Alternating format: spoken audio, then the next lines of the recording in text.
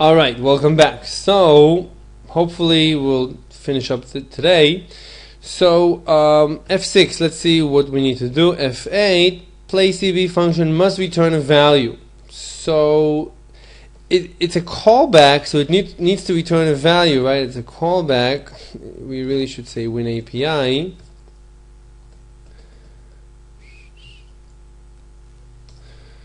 So it should return a value, so I guess this is okay. Return 0, right? F8, anything else?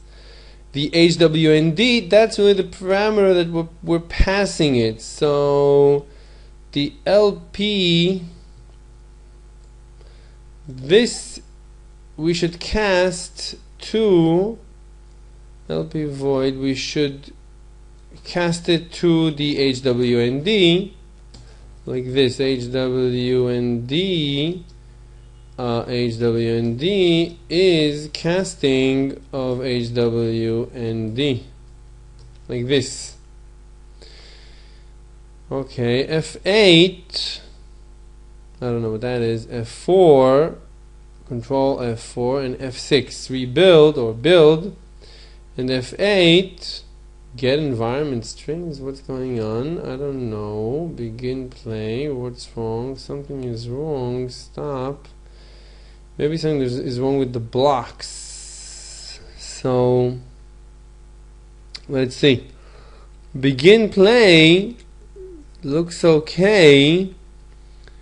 And playback looks okay. The structure looks right. So what's wrong? F Let's try it again. F6, F8, F8, win base. I don't know why it gets over there. Play CB undeclared identifier. So take play CB and place it here like this. F6. F8, F8, F8, 8, 8, 8. I don't know what's going on. Very strange. Unresolved. WinProc. Oh, so the, the compilation actually went through fine. IntelliSense cannot overload function distinguished by return type alone. Get environment strings. Play. Right, that's okay that it's not able to find play because we modified the name to begin begin play. F6 and we should also be invoking begin play. So this is now begin play. F6. Okay, build succeeded. Alright, so F12, F8, F8. So now we're creating a thread. It really should be invoking play CB. Will this work? Who knows? File play. Great. So now we have have a separate thread we have a separate thread that, right, we no longer need this notification. We're no longer using the notification. So back over here, no more window messages. We're replacing the window messages model. All right. So again, back here so over here, basically, basically, we can go back to waiting for completion. Let's run again. Play F10, let's follow it. F10, F10, F10, 10, 10, 10, 10, 10, 10, 10, 10, 10 to the file. So let's test it. One, two, three. 2, 3. All right, and this, when the thread is finished, you could say it should be responsible for itself. It should call. It should call the close, the whole uh, closing, the, the stop, right? It should call call stop. So over here, we'll just call stop.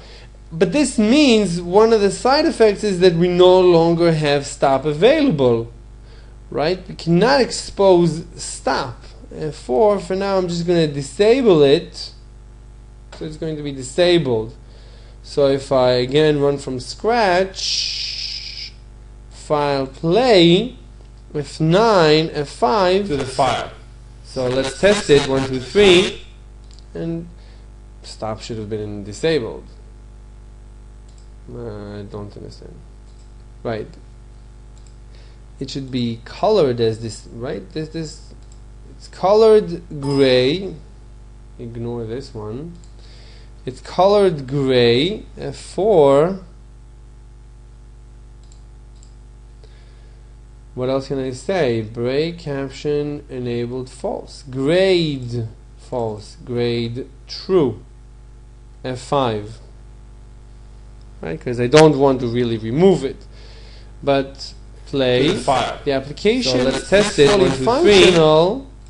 Right? So this is basically the idea. Our application To the file. is functional. So let's test it. One, two, three. It's completely responsive. It's fantastic. All right. But this is not exactly what they said that we should do, right? Because they said this is what you should do. So we're, not using the event object, right? We're not even following our own diagram. Where's our own diagram? Let me close this. Where's our own diagram? Did I close? No, there it is.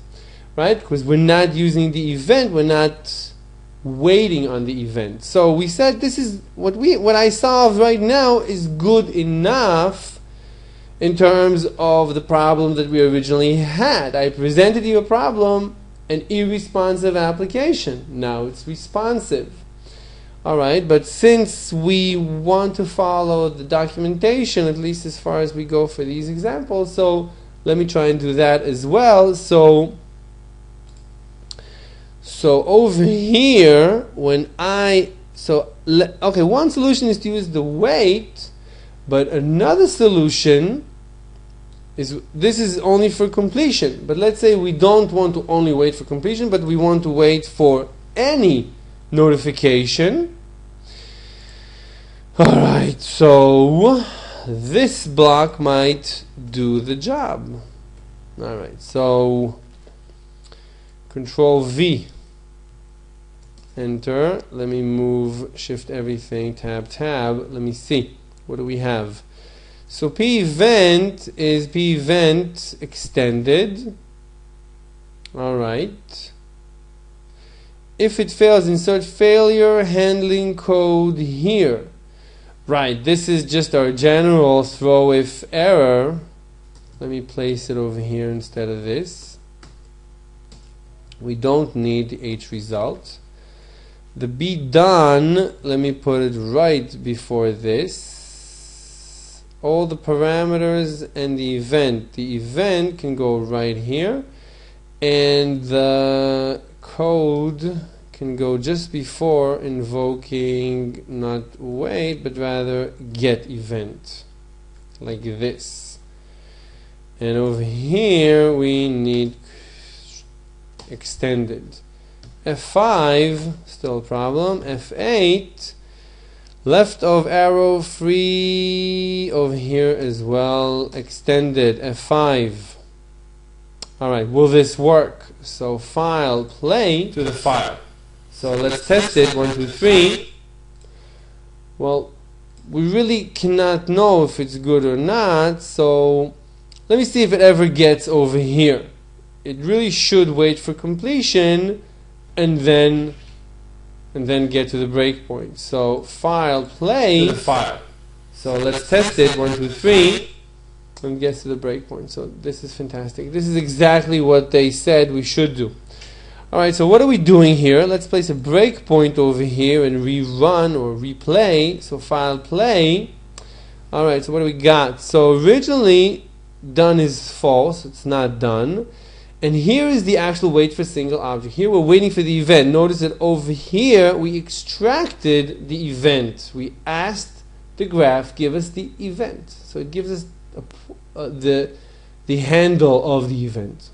All right, so we have the handle, so we can wait for the event. We wait 100 milliseconds. We can also we can wait forever. There's no real reason to wait less than forever. So I could say I think negative one is infinite, but really we should look at the wait for single object uh, documentation, which I might have open over here. So there is an infinite. Okay, if there is infinite, so we should use infinite. Why not use infinite? I like infinite. Control Shift F5, rerun from scratch, file play, and again, so we're going to wait here an infinite amount of time, but it comes back right away. Why? Because the graph manager placed an event, the EC pause, letting us know that it started running the graph. There you go. All right, so we have so F11 as long as get event returns S_OK. So hmm, printf this is not so interesting. I think printf control alt O prints out to here. I'm not sure. I really want to make sure we finish in time because this should be our last lecture for this series of lectures. Uh, by the way, this like this? No, never mind. Alright, so F10 it didn't print out to here. Alright, so free is it done? Well, that's if EC complete is what we got, then it's done. It's not done. And F10, well, it probably had no events, so it returned, uh, we don't know what it returned. Probably a false. Otherwise, right, it skipped, probably. F10, To the file. so let's test it. One, two, three. Great. And wait for single object return. Even though we, we put infinite, I actually like infinite. I don't allow my programmers to write anything else but infinite. Alright, so F10, do we have an event? Yes, because we're inside. And is it EC complete? It's 1, so it's good. So, so this time we have no more events, so we skip the while and we're back this time it's done, yes, so while is false, and we're finished. That's it. I have nothing else to say. Alright, with a minute and a half spare in this course, we I could say that we finished everything that I, I wanted to finish. Did I read this last piece of because the graph because the graph automatically sets resets, right? Don't touch it. Okay, so Ladies and gentlemen, thank you very much for being with us. This has been a fantastic set of lectures. I hope you enjoy, and hopefully, we'll see you in other sets of lectures. Thank you very much, and goodbye.